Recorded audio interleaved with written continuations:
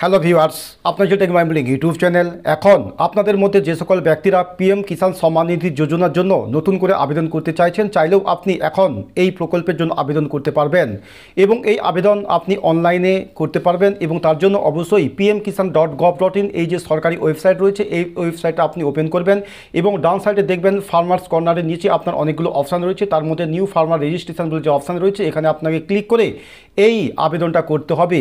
এবং কীভাবে আবেদন করবেন তা নিয়ে অলরেডি আমার চ্যানেলের মধ্যে অনেক ভিডিও রয়েছে এবং সেই সকল ভিডিওগুলো আপনি দেখে নিতে পারেন।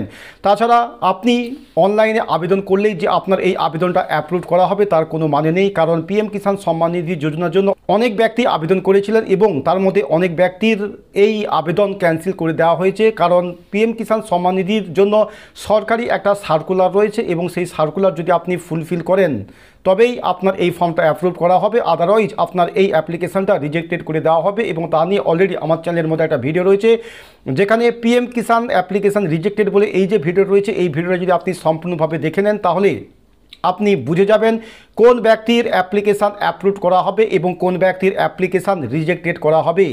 যদি আপনি এই প্রকল্পের জন্য আবেদন করতে চান, তাহলে এখানে যে অপশান রয়েছে, এই অপশান থেকে আপনি আবেদন করবেন।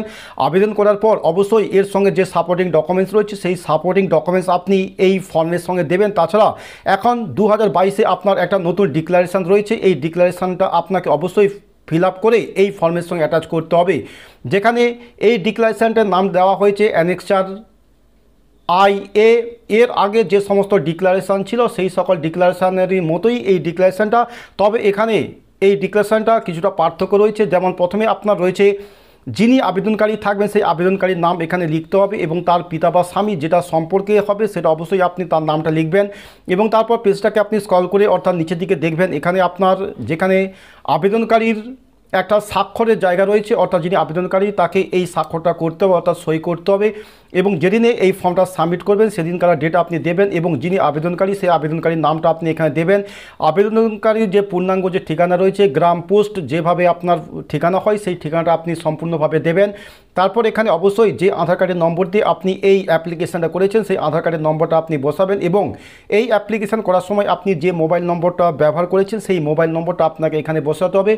অর্থাৎ এখানে এই যে ডিক্লারেশানটা রয়েছে, এই ডিক্লারেশানটা আপনাকে সঠিকভাবে ফিল করতে হবে। ফিল করে অনলাইনে ফর্ম ফিল করার সময় যে পেজটা আপনি পেয়েছেন, অর্থাৎ প্রিন্ট আউট সেই প্রিন্ট আউট এবং এর সঙ্গে আপনার যে সকল সাপোর্টিং ডকুমেন্টস রয়েছে, যেমন আপনার রেকর্ডের কপি আপনার ভোটার কার্ড ব্যাংকের বই, আধার কার্ড রেশন কার্ড এগুলো আপনি আপনার যে কৃষি দপ্তরের যে অফিস রয়েছে, সেই কৃষি দপ্তরের অফিসে আপনি সাবমিট করবেন। এই হলো আজকের এই ভিডিও। ভিডিও ভালো লাগলে অবশ্যই একটা লাইক দেবেন এবং আপনি যদি আমার এই চ্যানেলটা এখনও পর্যন্ত যদি সাবস্ক্রাইব করে থাকেন, তাহলে অবশ্যই চ্যানেলটা সাবস্ক্রাইব করে অল নোটিফিকেশান অন করে রাখবেন।